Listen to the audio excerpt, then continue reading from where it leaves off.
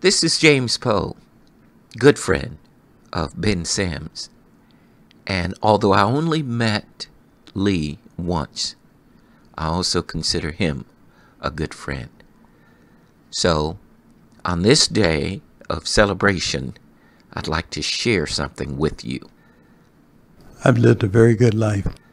Everyone can live a very good life once they decide that's what they want to do. Like, what's the purpose of life? I think ultimately the purpose of life is to feel good about yourself and about everyone around you and about the world you live in. There's a lot more positive stuff happening in the world today than at any other time in history. And that's what I would say. Embrace it. Get engaged in it. Don't focus on that one spot of ink on the sheet. The rest of the sheet is clean.